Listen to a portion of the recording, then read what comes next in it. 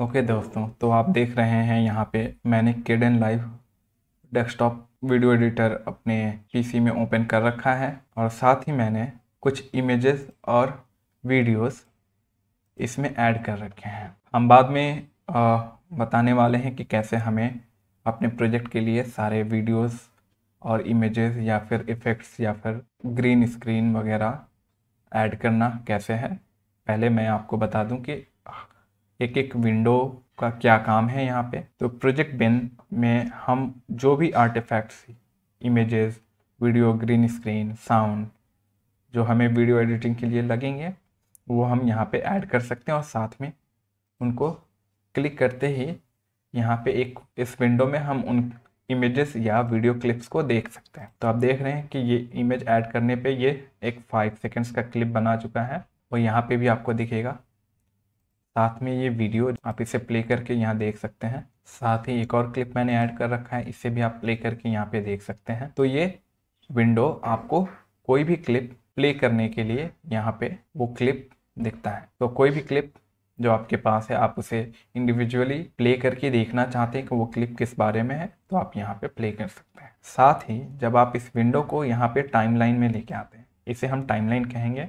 यहाँ पे ए इंडिकेट कर रहा ऑडियो या फिर साउंड को यहाँ पे देख सकते हैं वो साउंड के लिए शो कर रहे हैं और साथ ही वी इंडिकेट कर रहा है वीडियोस को।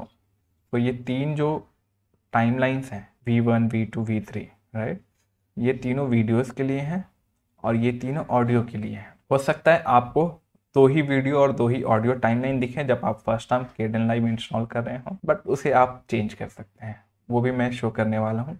हमारे नेक्स्ट वीडियोस में। साथ ही जो टाइमलाइन में हमने जो क्लिप डाल रखा है या इमेज डाल रखा है, अगर हम उसे प्ले करें तो वो इस विंडो में दिखेगा। आपको कॉर्नर साइड में राइट साइड टॉप कॉर्नर पे इस विंडो में आपको दिख जाता है।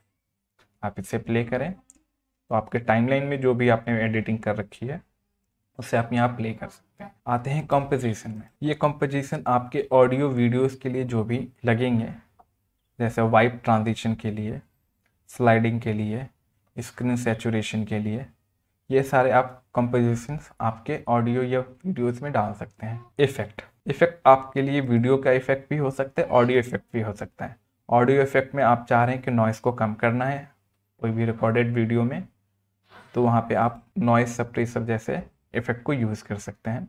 इस तरह वीडियो में आपको कोई वीडियो को ट्रांसफॉर्म करना है क्रॉप करना है तो आप ट्रांसफॉर्म कर सकते हैं या फिर क्रॉप कर सकते हैं ओके तो ये सारे इफ़ेक्ट दिए हुए ऑडियो और वीडियो से रिलेटेड आप यहाँ आएँगे तो ये सारे ऑडियो और वीडियो इफ़ेक्ट दिखेंगे, लेकिन आप सिंपली वीडियो वाले पे क्लिक करेंगे वीडियो आइकॉन पे तो ये सिर्फ़ वीडियो के इफ़ेक्ट्स को शो करेगा और ऑडियो क्लिप पे ऑडियो इफेक्ट्स को शो करेगा। क्लिप प्रॉपर्टीज़ ये क्लिप प्रॉपर्टीज़ कोई भी क्लिप जिसने, जिसे आपने सेलेक्ट कर रखा है प्रोजेक्ट बिन में, ठीक है?